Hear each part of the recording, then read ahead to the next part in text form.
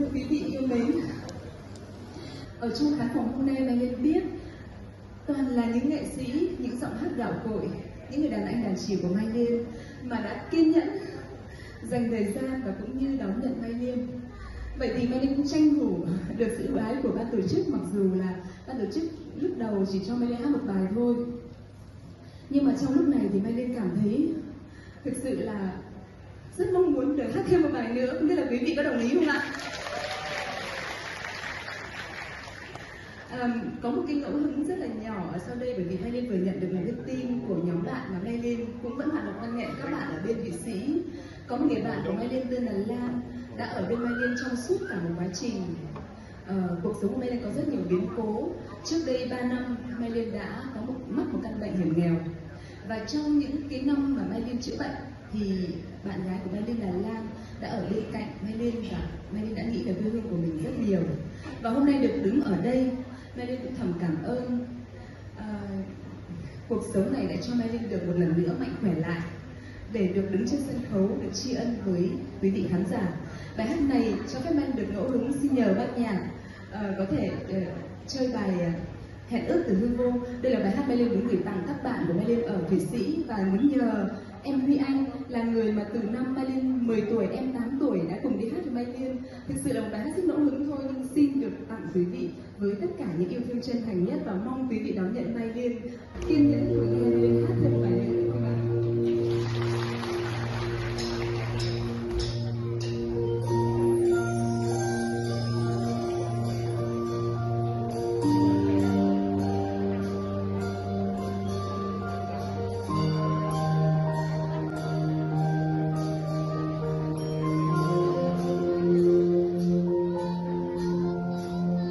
mình không tin nhau mà vô tình thương vẫn suốt tim ta chiều mưa thân thương trong từng đóng đưa mắt tôi về em mùa xuân ấy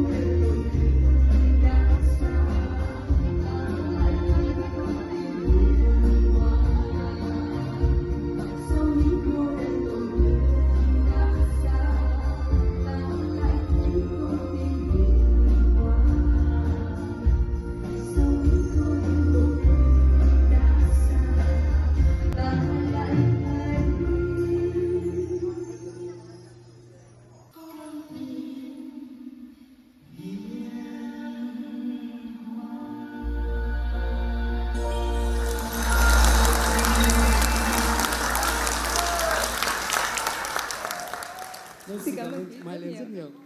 Cảm ơn Huy Anh. Xin cảm ơn ban nhạc ạ. Xin cảm ơn em. Cảm ơn em rất nhiều.